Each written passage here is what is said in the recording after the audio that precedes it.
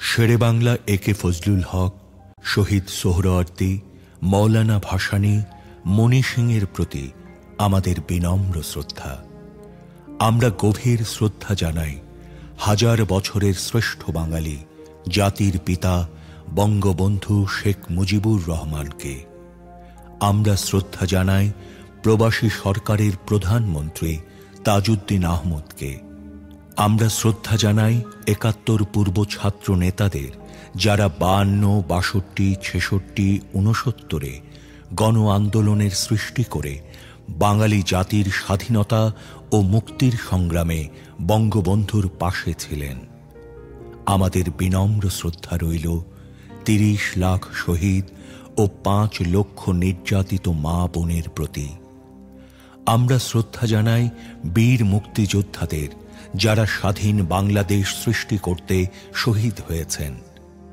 আমরা শ্রদ্ধা জানাই লক্ষ লক্ষ মুক্তিযোদ্ধাকে যাদের বীরত্বের কারণে আমরা স্বাধীন বাংলাদেশ সৃষ্টি করতে পেরেছি।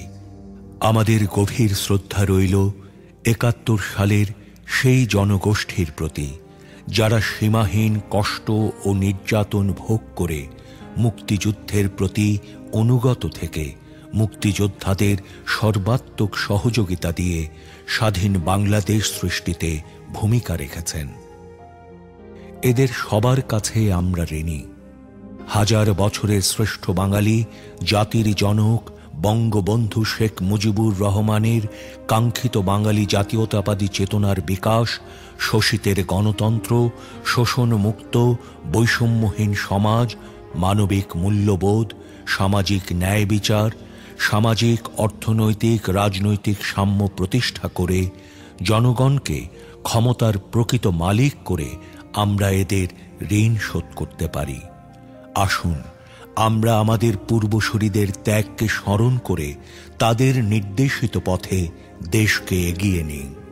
জয় বাংলা। আমি আবু নাসির খান তপন, আমার পিতা মোহাম্মদ দরবার হোসেন খান, মাতা বেগম সালেহা এই শহরের বাসিন্দা উনিশশো একাত্তর মুক্তিযুদ্ধের ওই সময়ে আমার বয়স ছিল, আমার জন্ম এক এক বাষট্টি। তখন আমার বয়স ছিল নয়ের কাছাকাছি। তো আমরা যতটুকু প্রত্যক্ষ করেছি, আমি ওই সময় ঢাকায় ছিলাম। আমরা দেখেছি ওই সময়ে পাকিস্তানি যারা সেনাবাহিনীর সদস্য যারা, ওরা খোলা ট্রাকে বা ট্রাকে করে অস্ত্র উঁচিয়ে এই ঢাকা শহরে মহড়া দিত। পাশাপাশি এর সাথে আমাদের এই দেশীয় কিছু রাজাকার আল বদর আল সামস সেখানে তাদের সাথে যোগ দিত। আমরা মাঝে মাঝে এই সমস্ত দৃশ্য দেখে অনেক সময় ভয়ে খুব কাকুর হয়ে যেতাম। তারপরও বাবা মাকে বলতাম যে, বাবা, আমার বাবা একজন গভর্নমেন্ট অফিসার ছিলেন। তখন তিনি ফরিদপুরে চাকরি করতেন। এবং বাবা মুক্তিযুদ্ধের পক্ষের একজন, স্বাধীনতার পক্ষের একজন কট্টর বঙ্গবন্ধুর একজন সৈনিক হিসাবে বাবা তার চাকরি জীবনটাকে ওইভাবেই তিনি রক্ষা করেছেন। যদিও আমাদের বয়স নয়ের কাছাকাছি বা সাড়ে নয়, তখন আমাদেরও মনে হতো যে যদি আমরাও এই দেশ স্বাধীনতা সংগ্রামে বা এই যুদ্ধে যদি আমরা অংশগ্রহণ করতে পারতাম তাহলে নিজেকে খুব ধন্য মনে করতাম। যদি আমি ওই সময় আমার বয়স পনেরো কি ষোলো হতো বা চোদ্দ, পনেরো হতো, তাও মুক্তিযুদ্ধে যাওয়ার এবং আমার সাথে, আমার পাশে, আমার আপন, আমার এক, আমার আম্মার চাস্ত ভাই তিনজন এট এ টাইম মুক্তিযুদ্ধে গেছেন। ওনাদের নাম হলো, একজন নাম হলো মিজানুর রহমান মজনু, আরেকজন হলো চুন্নু, আরেকজন হলো আমাদের যে পাহাড়ি ভাই, ঢাকার যে এখন মুক্তিযুদ্ধ আমার নানার বাড়ির পাশের পাশে পাহাড়ি ভাইয়ের বাসা। পঁচিশে মার্চ, কালো রাত্রিতে তখন আমি ঢাকায়। ঢাকায় আমার নানির নানার বাড়ি, মৌচাক মার্কেটের পাশে আশি নাম্বার। আমরা ওখানে ছিলাম। তো তখন আমরা বঙ্গবন্ধুকে যখন গৃহ অন্তরীণ করা হলো, তারপরে তাকে রাতের অন্ধকারে তাকে পাকিস্তান নিয়ে যাওয়া হলো। তো আমাদের ওই উপলব্ধিগুলো মনে প্রাণে যে এ দেশের একজন কৃতি সংগ্রাম, একজন সংগ্রামী নেতা বাবা বাবার মুখে শুনেছি, আমার মামাদের মুখে শুনেছি, নানার মুখে শুনেছি যে এটা কোনোভাবেই হওয়া উচিত নয়। তো আমরা এতটুকুই বিশ্বাস করি যে বঙ্গবন্ধুর আদর্শে আমরা এখনও অনুপ্রাণিত, উজ্জীবিত। স্বাধীনতার পরে আস্তে আস্তে আমি চান্দন স্কুল আমাদের চৌরাস্তায়, এটার আমি ছাত্র। এখানে লেখাপড়া করেছি, উনিশশো আশিতে এইচএসসি করেছি। উনিশশো বিরাশিতে ভাওয়াল বজ্জালাম সরকারি কলেজ থেকে এইচ এইচএসসি করেছি। আমাদের এই গাজীপুর শহরে কাজী আজিমুদ্দিন বিশ্ববিদ্যালয় কলেজ থেকে স্নাতক ডিগ্রি পাশ করে আমি কিছুদিন এলএলবিতে পড়ালেখা করেছি। তারপরে কিছুদিন আমি একটা জব করতাম। জবের পরে আমার এই লেখালেখির পেশায় আমি আজকে প্রায় তিরিশ, পঁয়ত্রিশ বছর আমি এই লেখালেখার পেশায় জড়িত।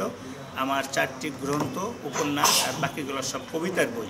আর আমি দুই হাজার আঠারোতে বাংলাদেশ শিল্পকলার একটা ছোট্ট পদক আছে। আমার যাক পদক বড় কথা নয়, লেখালেখি করে এইটাই বড়। যাক পরিশেষে আমার একটি কবিতা পাঁচশোর উপরে কবিতা। কবিতার নাম, উঠো, জাগো, চোখ হৃদয়ে বাংলাদেশ চেতনায় মুজিব। আমি বাঙালি শাশ্বত পরিচয়।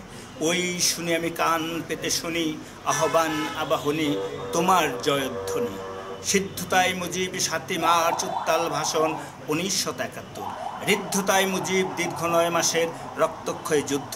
শুদ্ধতায় মুজিব এ দেশ থেকে পা খায় না বিতাড়িত। মুগ্ধতায় মুজিব সারা বিশ্বের সমর্থন, স্বীকৃতি স্বাধীন বাংলা। সিদ্ধতায় ঋদ্ধতায় শুদ্ধতায়, মুগ্ধতায়, মুজিব মুজিব ধ্বনি আমি কান পেতে শুনি। কান পেতে শুনি ওই হৃদয় তন্ত্রিতে লেখা নাম, জাতির জনক বঙ্গবন্ধু শেখ মুজিবুর রহমান। স্যালুট পুনর্বার। এসো এসো এসো, সাথী সখা এসো, মুক্ত বিহঙ্গ এসো, উঠো, জাগো, চোখ খুলো। তোমার মিঠু পথে রাখালের বাসি শুনি, তোমার বন বনানিতে ভ্রমরের গুঞ্জন শুনি, তোমার মাঠে মাঠে কৃষাণের গান শুনি, তোমার গায়ে ঢেকির শব্দ শুনি। কিচিমিচি ঝাঁক বাধা, পাখির কাকলে লহরিতে পিঠাপুলি পার্বণে, রাখাল বাউলে রাতচালাজি মহোৎসবে দিশেহারা। পথিকে পথহারা। তাল, সুপারি, অসত্য, বকুল, উরূপ, মাতাল ধ্বনি আমি কান পেতে শুনি। শুনি শিমুল পলাশের রাঙা শিরে পুরবি গুধুলি সূর্যাস্ত নেমেছে। শতরূপী ধিঙ্গিপনা উরূপ কেশে। দোয়েল শ্যামা কোকিলের কুহুতান, আম্র মুকুলের মৌ মৌ গন্ধে, আশিকে পালকে চেপে অহমনা হুনহুনা, কাহার বা তালে কাজবনে মিশে যায়। তোমার শাশ্বত বাংলা। পদ্মা মেঘনা সুরমা যমুনা বাংলা খালবিল নদ নদী বাংলা, শাপলা শালুক বাংলা বাংলা বাংলা, যে কৃষক শ্রমিক মুজুরের বাংলা, কামার কুমারে জেলেতাতির বাংলা, কবি, সাধক, রাখাল, বাউলের বাংলা, জ্ঞানী, গুণী, বুদ্ধিজীবীর বাংলা বাংলা বাংলা, যে মুক্তি যোদ্ধার বাংলা। বোদ্ধা, যোদ্ধা, তুমি দিগিজয়ী তুমি চিরঞ্জীব, তুমি পুরুষোত্তম সত্য। অরূপ দর্শন তোমার বাংলার অহংকার, সেলুট হাজারো বার। তাই তো আজকে লক্ষ কণ্ঠ জেগেছে ওই, সুর মূর্ছনা ভেসেছে ওই, মাধুরী ফুটেছে ওই, আমিও অবগাহনে ওই।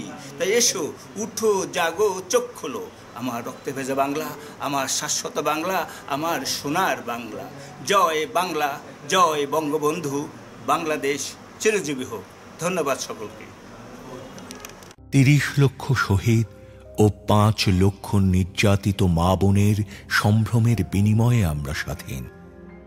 লক্ষ লক্ষ মুক্তিযোদ্ধা বীরত্বের সাথে যুদ্ধ করেছে বলে আমরা স্বাধীন।